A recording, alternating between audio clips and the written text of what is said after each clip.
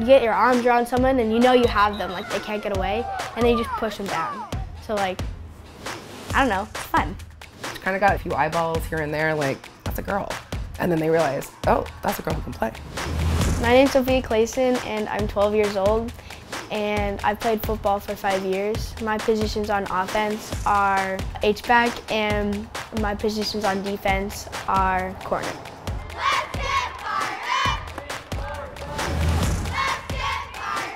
Every single year, someone will see me with Soph, either walking on or walking off, and they're like, is that your daughter that's playing?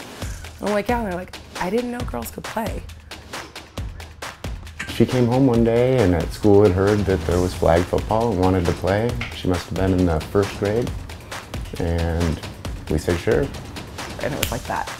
It was instantaneous. I mean, as soon as she played, she was like, this is all I want to do.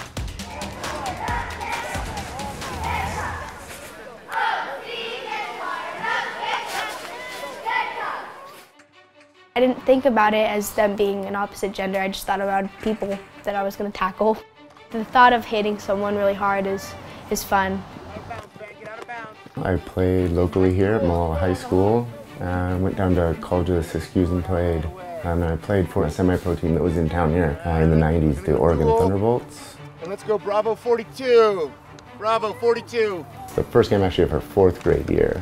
I don't Know, two minutes left maybe, and we're down by uh, seven, and she runs it in, and she scored that touchdown, and uh, I almost got sick. Ran over to the sideline.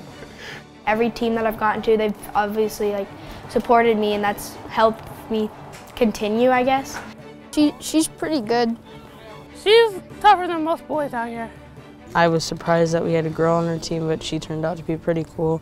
Last year, uh, when she tackled one of their running backs, they're like, you just got tackled by a girl. Their coach said that, and then he kind of got all butt hurt.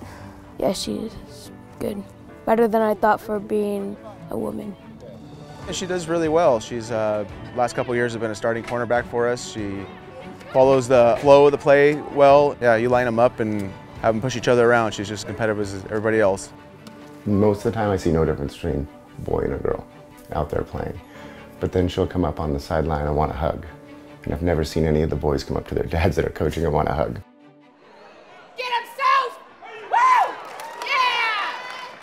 I never really thought about her getting hurt. I mean, when you see the kids play, it seems like it's kind of like slow motion almost. It's not terribly violent.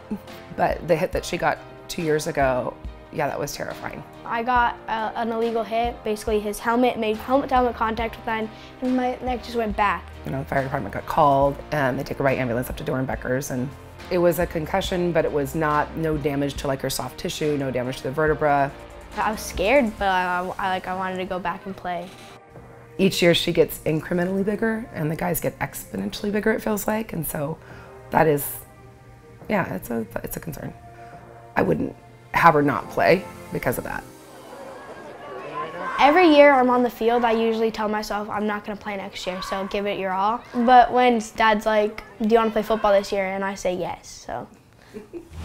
all my friends are guy friends, and then them going out and them saying I should play, and then I have a lot of people saying I'm really good, and I guess it makes me like feel encouraged to do it again, and then I just do it.